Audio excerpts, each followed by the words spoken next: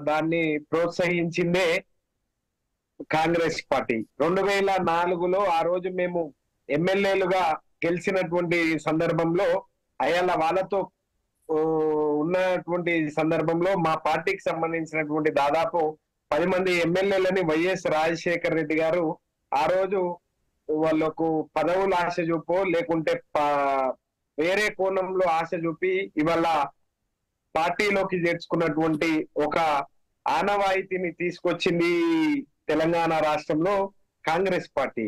అయితే తెలంగాణ రాష్ట్రం ఆవిర్భవించిన తర్వాత రెండు వేల పద్నాలుగు తర్వాత తెలంగాణ రాష్ట్రం వచ్చిన తర్వాత ఇవాళ తెలంగాణ వస్తే అంధకారం అయిపోతది. తెలంగాణ వస్తే వీళ్ళకు పరిపాలించుకునేటువంటి చాత కాదు అని చెప్పి సీమాంధ్ర ప్రజలు మాట్లాడుకుంటున్నటువంటి అవన్నీ ముగింపు పలకాలి అని అనుకున్నప్పుడు కేసీఆర్ గారు మానవీయ కోణంలో ఆలోచన చేసి అసలు వాళ్ళు కూడా వచ్చినటువంటి కాంగ్రెస్ పార్టీ నుంచి టిఆర్ఎస్ పార్టీలకు బిఆర్ఎస్ పార్టీలకు వచ్చినటువంటి వాళ్ళు ఆ రోజు మేము తెలంగాణ ఉద్యమంలో లేము. ఇవాళ బంగారు తెలంగాణ నిర్మాణంలోనైనా మేము ఉండాలి మా భాగస్వామ్యం ఉండాలి. తద్వారా భావి తరాలకు మేము ఆ, ప్రజా జీవితంలో ఉన్నాము అనుకునేటువంటి పద్ధతిలా మా కుటుంబ సభ్యులు లేకుంటే మా నియోజకవర్గ ప్రజల అందరూ మమ్మల్ని ఆ కోణంలో చూస్తారు. బంగారు తెలంగాణ నిర్మాణంలో మేము ఉండాలి అనేటువంటి ఆలోచన చేసి వాళ్ళు వచ్చినటువంటి సందర్భం ఉంది సార్. అయితే ఇవాళ తెలంగాణ రాష్ట్రం ఏర్పడిన తర్వాత రెండు సార్లు మేము అధికారంలో ఉన్నాం. ఇవాళ కొత్తగా కొలువు తీరినటువంటి కాంగ్రెస్ ప్రభుత్వం. ఇవాళ వాళ్ళకు ఒక ఫిగర్ ఆల్మోస్ట్ ఇవాళ జనం ఇచ్చినటువంటి పరిస్థితి కూడా మీరు చూసిండ్రు.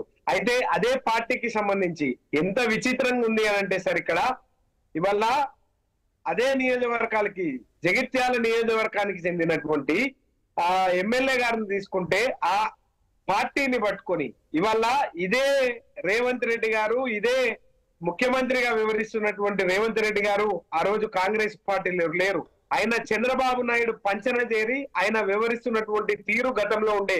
కానీ జీవన్ రెడ్డి గారు పార్టీని పట్టుకొని పార్టీయే నా ప్రాణం అనుకొని ఇవాళ ఇరవై నాలుగు గంటలు ఆయన పార్టీ కోసం కష్టపడ్డటువంటి తీరు ఉమ్మడి కరీంనగర్ జిల్లా ప్రజలను అడిగితే చాలా స్పష్టంగా తెలుస్తుంది సార్.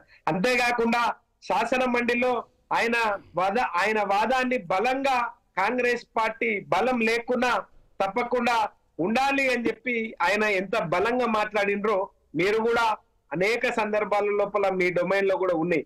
నేను చెప్పొచ్చేటువంటి విషయం ఏంది అని అంటే సార్ సరే అది కాంగ్రెస్ పార్టీ అది వాళ్ళ పార్టీకి సంబంధించినటువంటి పర్ఫెక్షన్ దాంట్లో మాకు ఏం అనుమానం లేదు. పోయేటువంటి వాళ్ళు పోనీవచ్చు గాక దాంట్లో మాకు ఇబ్బంది లేదు. కానీ మేము చెప్పొచ్చేటువంటి విషయం ఏంటి అంటే ఇదే రేవంత్ రెడ్డి గారు ఒక మాట మాట్లాడతారు. రాహుల్ గాంధీ గారేమో ఇంకో కోణంలో మాట్లాడతారు. సరే రాహుల్ గాంధీ గారిని ఒక నిమిషం పక్కకు పెడితే రేవంత్ రెడ్డి గారు అన్నటువంటి మాట ఏంటి అని అంటే ఒకవేళ బిఆర్ఎస్ పార్టీకి సంబంధించినటువంటి ఇండ్ల మీద వాలేటువంటి పక్షి అది కాకి కావచ్చు అది కాంగ్రెస్ పార్టీ ఇంటి మీద వాళ్తే కాల్చి సంపుతా అని చెప్పి మాట్లాడినటువంటి మాటలు మరి ఇవాళ ఆయనకు వినిపిస్తలేవో అవి అవి కనిపిస్తలేవో. మరి అది ఆయనకే అర్థం కావాల్సినటువంటి అవసరం ఉంది సార్. ఇవాళ పరిపాలనని గాడిలో వదిలేసి ఇవాళ పాలనని ఇసిపెట్టి ఇవాళ ఎంతసేపు ఢిల్లీ ప్రదక్షిణలు చేస్తున్నటువంటి ప్రదక్షిణలు చేస్తున్నటువంటి రేవంత్ రెడ్డి గారు అయ్యా ఇవాళ ఈ రాష్ట్రంలో హోంమంత్రి లేనటువంటి రాష్ట్రం ఈ సువిశాల భారతదేశంలో కేవలం తెలంగాణ రాష్ట్రమే సార్. విద్యా సంవత్సరం ప్రారంభమైంది. విద్యాశాఖ మంత్రి లేరు. ఈ రాష్ట్రంలో ఇంతకంటే దౌర్భాగ్యమైనటువంటి స్థితి ఎక్కడన్నా ఉంటుందా సార్? ఈయనకు ఎంతసేపు ఆయన కుర్చీ కాపాడుకోవాలి తద్వారా వేరే పార్టీల నుంచి గాలమేసి ఎమ్మెల్యేలను తీసుకోవాలి అనేటువంటి కోణంలోనే ఆలోచన చేస్తుండు కానీ ఆయన గతంలో మాట్లాడినటువంటి మాటలేంది? ఇవాళ ఆయన వివరిస్తున్నటువంటి తీరేంది అనేటువంటి విషయాన్ని ఇవాళ క్షేత్ర స్థాయిలో ఉన్నటువంటి ప్రజలందరూ కూడా అవగతం చేసుకున్నారు సార్. ఏది రాయి ఏది రత్నము అనేటువంటి విషయాన్ని ఇప్పటికే తెలంగాణ ప్రజలు అవగతం చేసుకున్నారు సార్. ఇవాళ వాళ్ళు ప్రవేశపెట్టినటువంటి సంక్షేమ అభివృద్ధి కార్యక్రమాలు ఏ ఒక్కటి కూడా అమలు కాలేనటువంటి నేపథ్యం కూడా ఇవాళ తెలంగాణ ప్రజలందరూ కూడా చూస్తా ఉన్నారు సార్. ఇవాళ ఏ ఒక్క వర్గానికి కూడా ఆయన న్యాయం చేయలేకపోతున్నాడు కాబట్టే ఇట్లాంటి ప్రయత్నాలు చేసి ప్రజలను కన్ఫ్యూజ్ చేసేటువంటి పద్ధతుల ప్రజలని పక్కదారి పట్టించేటువంటి పద్ధతుల ఆయన చేస్తా ఉన్నాడు కానీ ఈ తెలంగాణ ఏం ఎడ్డి తెలంగాణ కాదు ఈ తెలంగాణ ఏం గుడ్డి తెలంగాణ కాదు వీరోచిత పోరాటం చేసినటువంటి వీరులంగా అన్నటువంటి గడ్డ ఈ గడ్డ కాబట్టి.